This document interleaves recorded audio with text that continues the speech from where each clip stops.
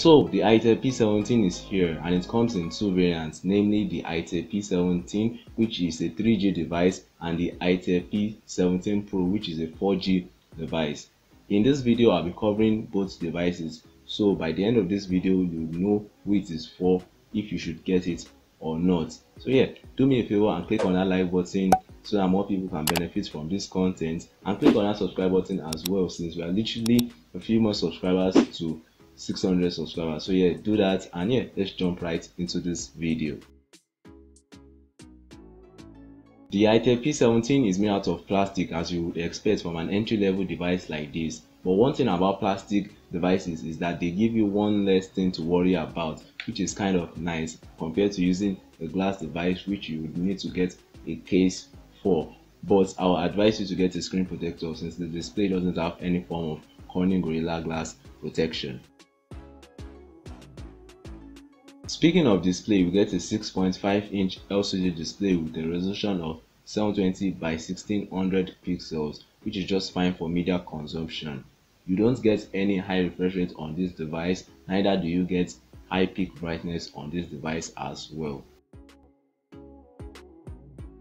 We get Android 11 Go edition on this device which is just okay for entry level devices like this, especially devices with low processors like this one. And this device rocks the MediaTek MT whatever whatever processor coupled with 1 gigabyte of RAM and 16 gigabytes of storage. And I would advise you to even install lighter versions of apps on this device so as not to fill up your memory quickly or just make the device slower in general. And if your memory gets filled up well you can expand it using a memory card. As for cameras, we get a 5 megapixel rear camera and an 8 megapixel selfie camera.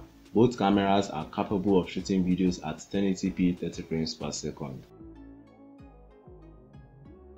Powering this device is a 4000 mAh battery and you should get a day's usage or even more on this device considering the fact that you won't be doing any intensive tasks on it and when it dies well you can just it off using the 5 watts charger included in the box and charging times would be really really slow.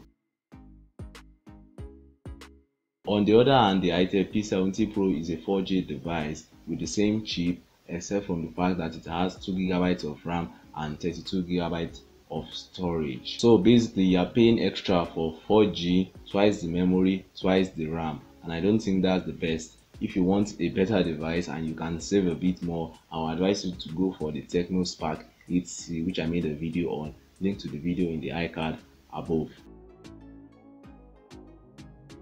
And yeah that's basically it for the itel p17 and the p17 pro. And as for the price well i'll keep you updated in the comment section or in the description since there are no words from itel yet on the price of this device and at the end of the day who is this device for? Well this device is for people who just need a device that works and nothing more honestly. It's just a plain old device for people who just need something that works. And yeah if you enjoyed this video click on that like button and that subscribe button if you love this video. Thanks for watching and catch you guys in the next video. Peace